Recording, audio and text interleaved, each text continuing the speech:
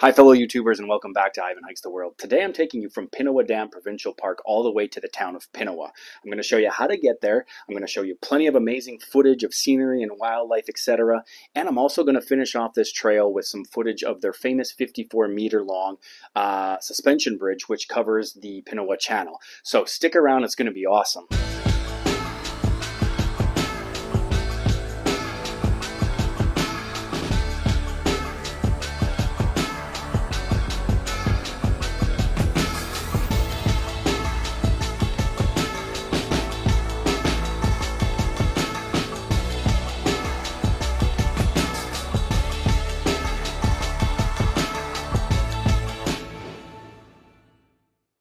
Right, so I'm going to assume that the majority of people are going to be leaving from the provincial capital city, Winnipeg.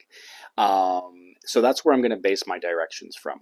Now, from the city, it's pretty much you're going east with a little bit of north to it. It really isn't that far. It makes a wonderful day trip getting out to the trail. Now, we're talking about 120 kilometers, give or take, and give yourself about an hour and a half depending on traffic and, and where you're actually situated in the city to get there. Um, the drive itself is super pleasant. You're passing uh, towns like Beausejour. There's plenty of gas stations along the way. And of course, it takes you um, close to the town of Pinawa. And um, you're not quite getting there. Your turnoff comes just before. And what's super cool is that there's plenty of signage along the highway telling you exactly where your junction is. Now, once you get to the park, there's not a lot of depth to it. So, like, from the entrance to the parking area is literally like a five minute walk. If you drive, you're there in 30 seconds, you're parking, and then the signage is obvious to, to the trailhead. You can't really miss it.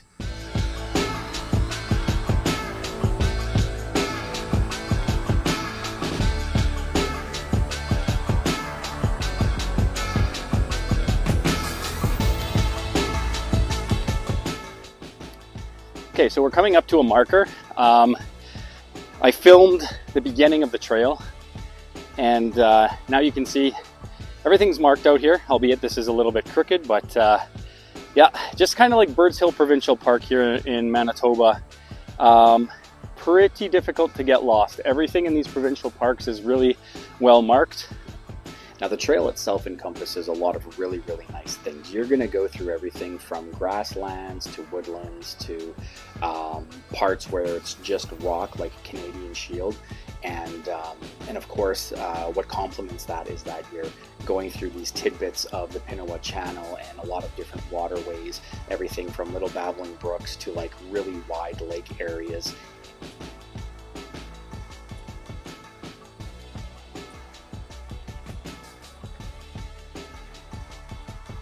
So the trail is just gorgeous this time of year, as you can see.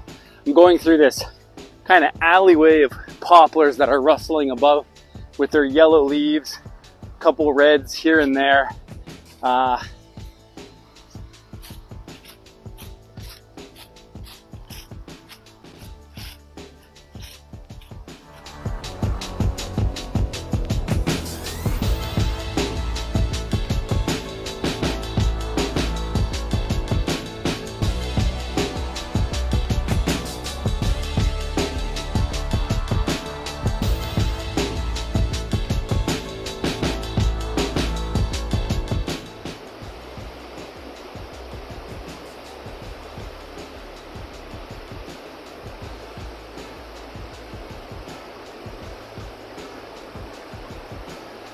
it's really important to point out that you can start this trail on either end.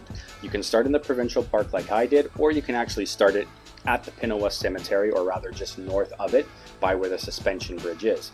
Um, now, I didn't choose to do the cemetery trailhead just because I thought it would be more interesting starting up north at the dam.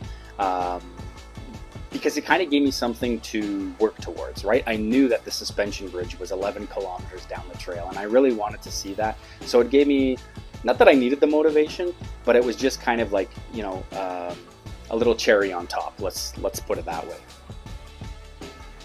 And just surrounded by nature, like there's zero civilization out here, and it's nice.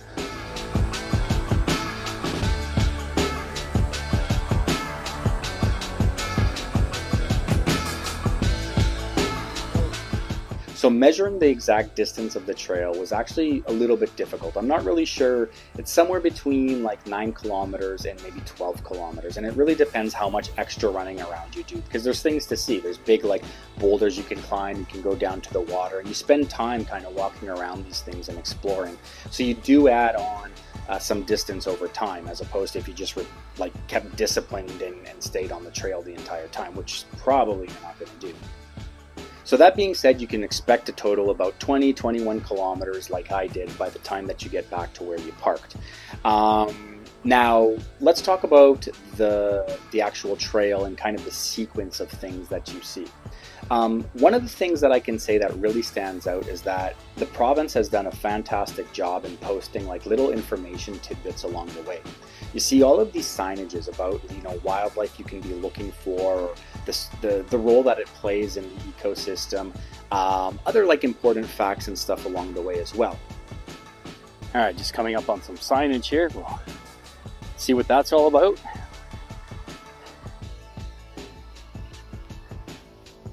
Huh. But the wildlife here.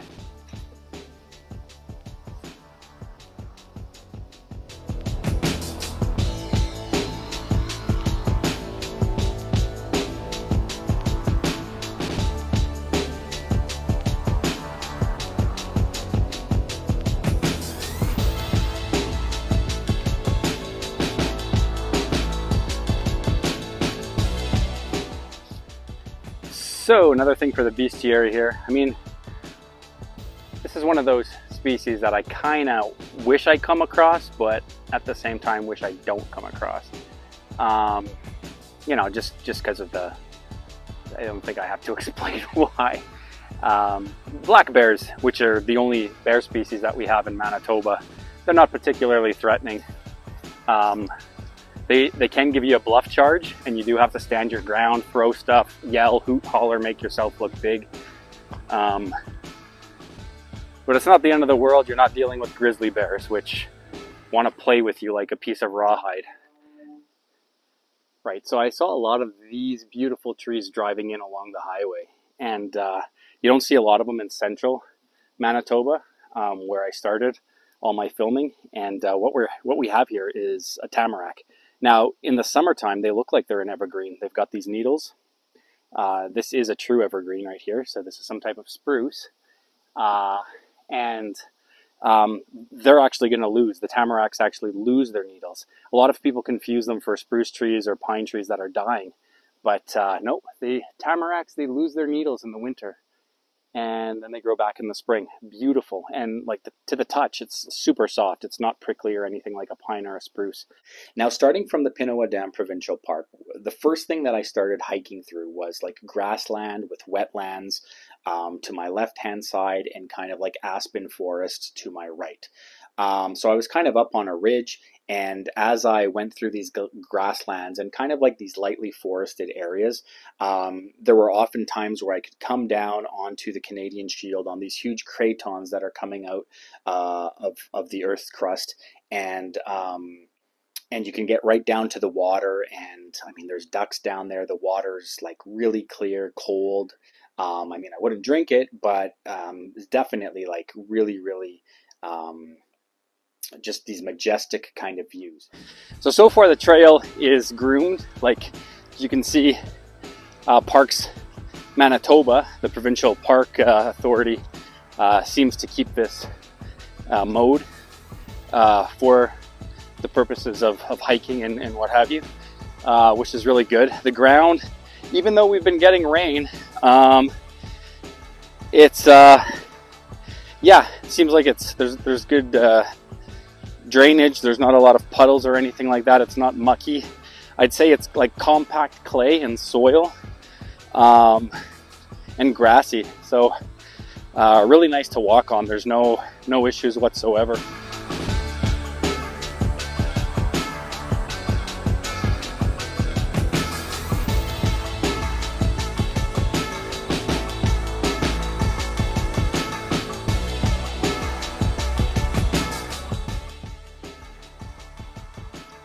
I've come to this craton here, which basically means massive boulder. You can see how it's covered in, in lichen. Hmm? Just old, wild, beautiful little patch of moss growing underneath the juniper there. The river kind of widens out here.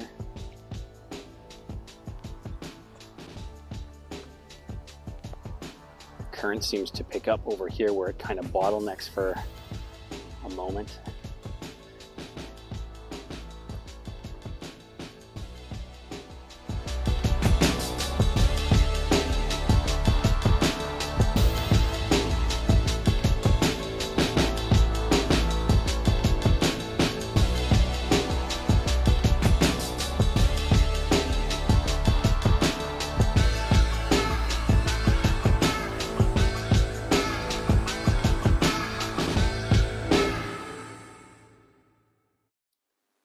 As you continue, start to go through some really dense forest. I mean, not the trail itself, the trail is really well groomed, um, but the forest gets older, it gets more mature. There's these huge root systems coming out of the ground. So you got to watch your step.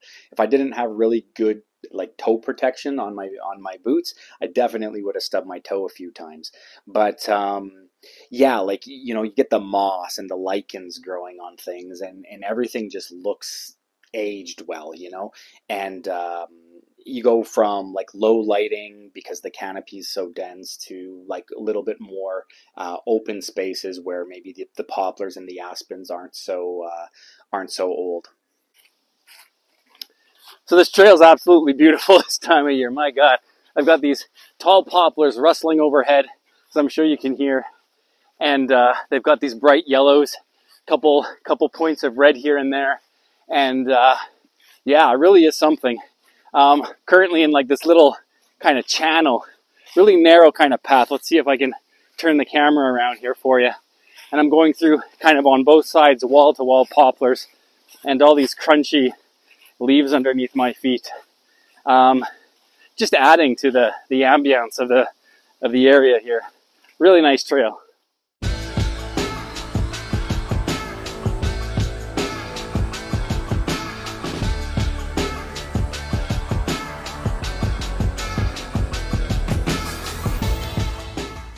Right in there, there's a prairie chicken or a grouse. I'm not sure.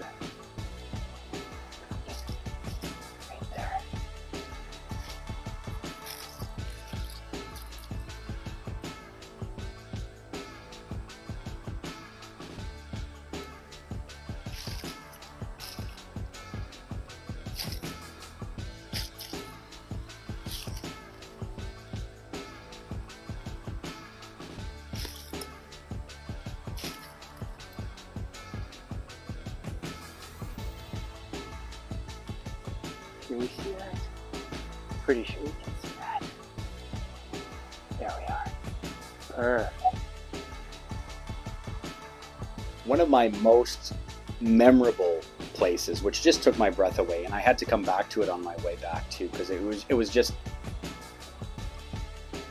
it takes your breath away. There's no words. You kind of come down. There's this part on the trail where you you kind of come down, and it opens up, and all of a sudden you realize that like you've got this wonderful, beautiful lake with wetlands and fall colors and everything to your right.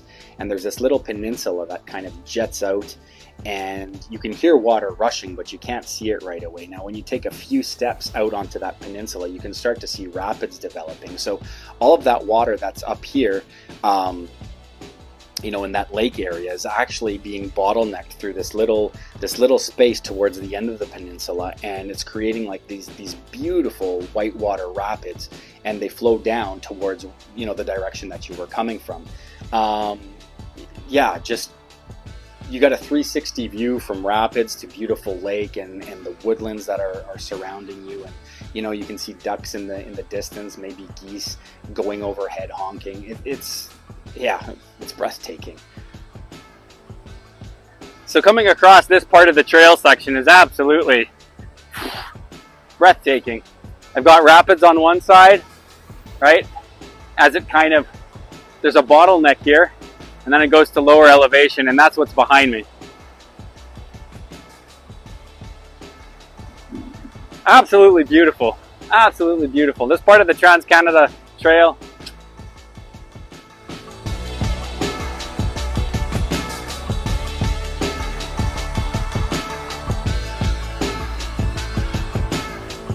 Continuing down the trail further is um, you start to go back through more and more woods.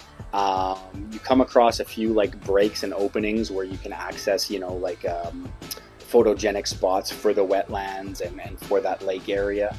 Um, and then for the most part, there's there's some cool little bridges that they've built to, to get you across creeks and whatever. I came across a few beaver dams and some really like swampy areas and uh, and yeah, for the most part, the trail gets wider because it looks like maybe there's sometimes like some ATV action on there.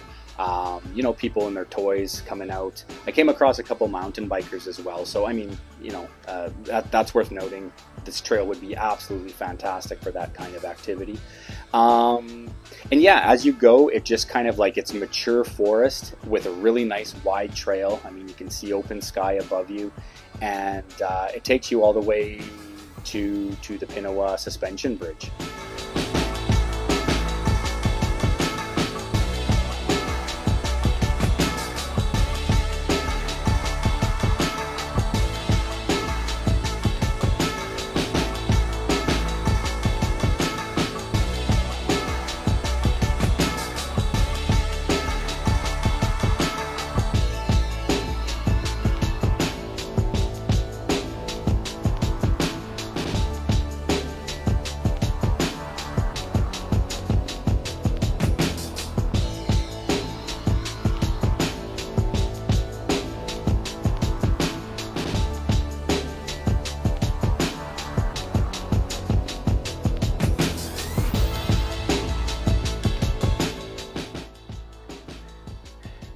Just another spectacular view. You've got this wetland separating the trail, which is just behind the camera. And all you see is fall colors on the shore, the distant shore. And reeds, wetlands, cattails, uh, ducks taken off because I guess I've spooked them. Yeah. Can you tell I'm having fun? All right, so I came off my trail. There's a parking lot here, and this is the Pinawa Cemetery. And if you Google map that, you'll see that. I probably will put that up on the screen at some point throughout the video. And this is what we come to, is the Pinawa Channel Heritage Walk. All right, so um, as you can see, there's the town of Pinawa, which is down there. We're where the arrow is here. Let me get in close. And uh, we want to go check out this bridge, and then we want to make it back, uh, I guess, along the Alice Chambers Trail. So, uh, not too much daylight to burn, so we're gonna get going. Uh, I'm not gonna take a rest, even though those picnic tables are tempting for a second here, as it's been, uh, I don't know, 12K so far. So, no rest. We'll, uh, we'll get her done and uh, start heading back. Now, the Pinawa Suspension Bridge, it, it's something to kind of behold. it crosses this beautiful section of the Pinawa Channel, and um, yeah, going across it, you know, you're swinging, you're swaying. It's it's pretty cool. Um, just looking at it, it's like, wow, this is this is pretty impressive.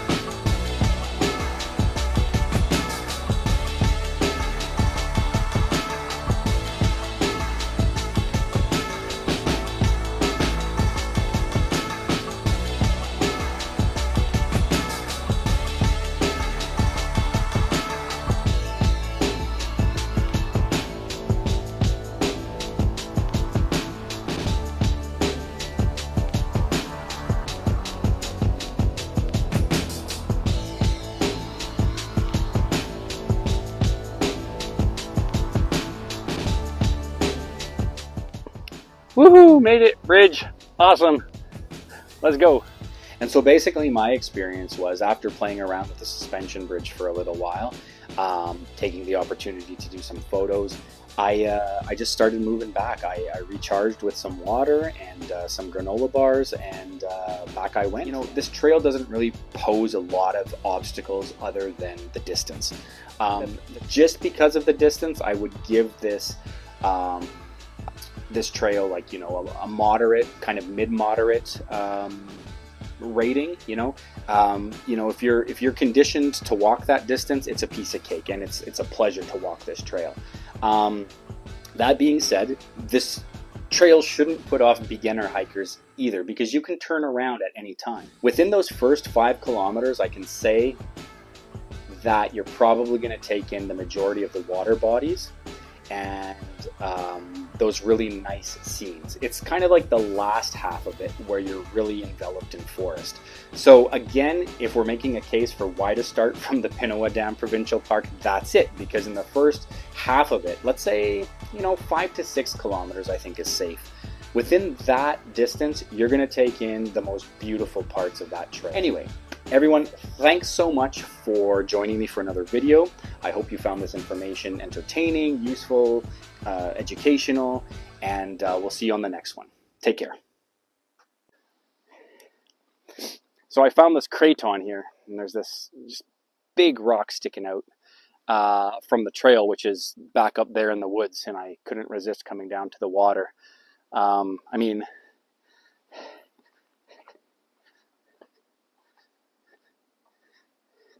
Manitoba, this is like right in your backyard. I drove an hour and a half to get here, and I'm the only one out here. Where are you? Right?